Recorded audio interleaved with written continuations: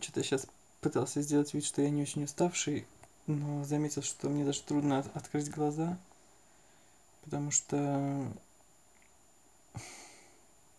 я уставший. Хотя э, больше дело в том, что у меня как-то побаливает голова. А, наверное, потому что я нюхал химические запахи. Ну, попало просто мне что-то ароматизированное. Я думаю, что из-за этого. Хотя, хотя, может быть, у меня болит голова из-за того, что э, после того, как я позанимался из последних сил, я пошел в магазин Лента, купил там замороженные овощи, все те же самые. Я просто мне надоело говорить это слово гадкое. Как они называются. И потом пришел домой кое-как из последних сил. А овощей я покупаю обычно две упаковки. Открыл упаковку, высыпал ее в стеклянную тару, в которой я готовлю. И оказалось, что они испорченные. И я пошел обратно в ленту. В супер уставшем виде. И там они очень добрые, они э, согласились поменять эти овощи. И я пришел.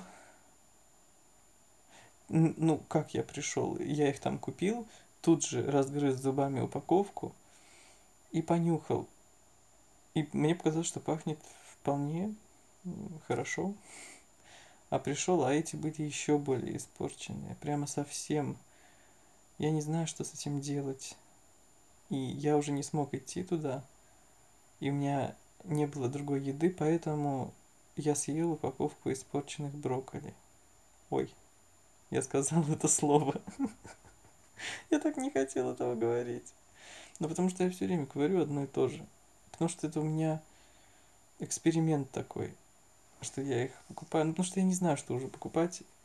Сегодня, кстати, наконец-то сходил в столовую. Я давно там не был, как раз из-за этих экспериментов своих. Вряд ли у меня из-за столовой болит голова. Да, там было, конечно, хорошо. Там мне нравится весьма.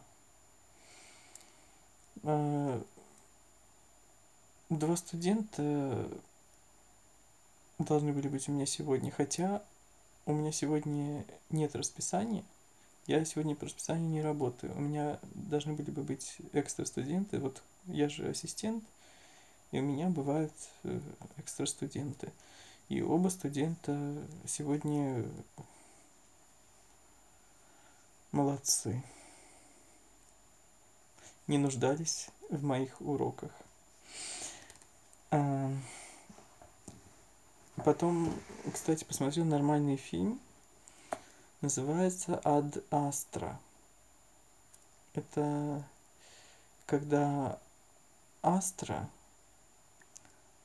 попала в ад. И ад был очень скучный. Она в этом аду летела, летела, летела, летела. По-моему, 79 дней она летела в этот ад. В этом аду эта Астра встретила своего отца.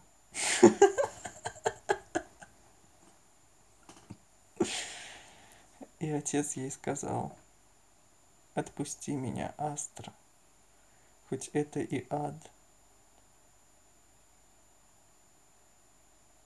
Вот такая история. На самом деле мне очень понравились актеры. Фильм называется звездам.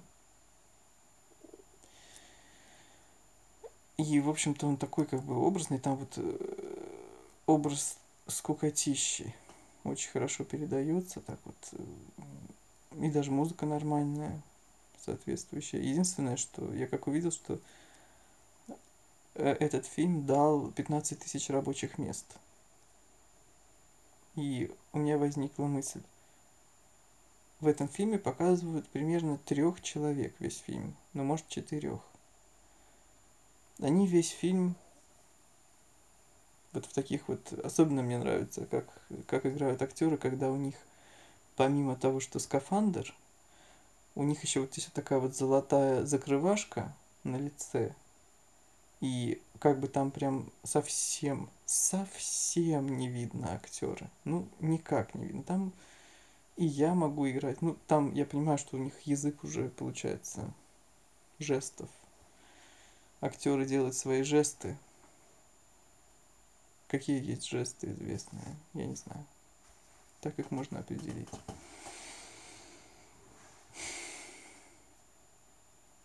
Сейчас мне кажется, что у меня голова должна пройти. Тем более, что когда человек спит, он ничего особого так не чувствует, я думаю.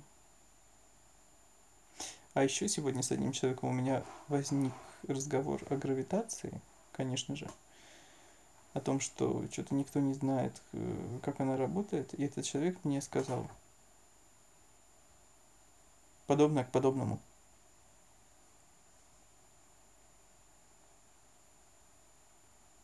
Я еще хотел ему сказать, а, а можно, пожалуйста, чуть-чуть побольше слов? Но не сказал. Поэтому больше ничего и не узнал.